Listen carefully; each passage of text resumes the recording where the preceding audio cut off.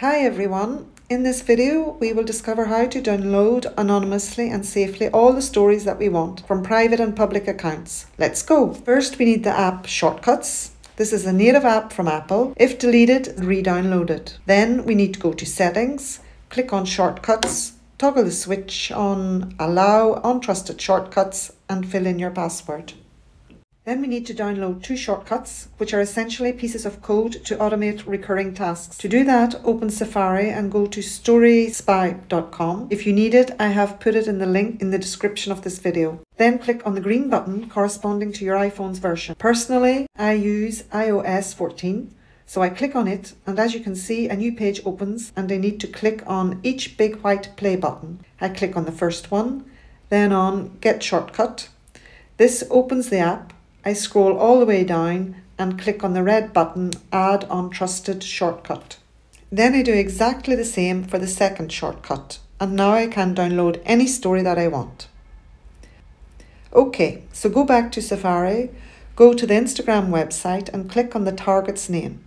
This opens the profile page, then click on the share sheet button. This is the rectangle with an arrow pointing up just in the middle of the Safari bottom bar. Now scroll down until you see Story Spy Step 1. Click on it and click on OK when needed. Let your iPhone work and when it's done you should see a page with tons of unreadable code. That's perfect. Now repeat the process. This time click on step 2 and wait for a few moments. The more stories the profile has posted, the longer it takes, but it's usually a matter of seconds. Okay, now it's finished. Let's go to the photo app, which was empty at the beginning of the video.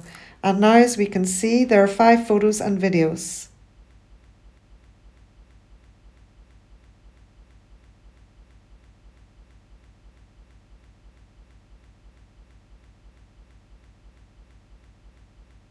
Let's go back to Instagram to verify if they are the same as those posted by this girl. So I click on her profile picture and as expected they are the same.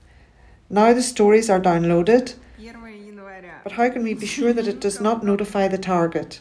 Easy. Let's do it again, this time with another account I am currently using on my Instagram app. As you can see, I posted a short story four minutes ago with the account named Startup Food and it currently has zero views.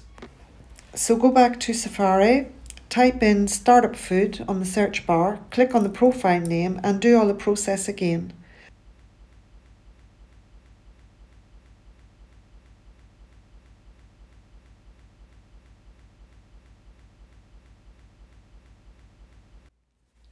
When it's done, as you can see, I have downloaded the story on the photo app.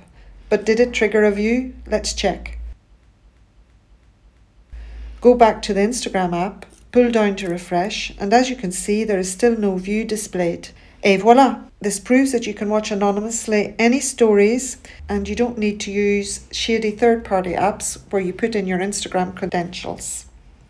It works safely with simple Apple apps. I hope you enjoyed this video. If so, please drop a like. Thanks for watching.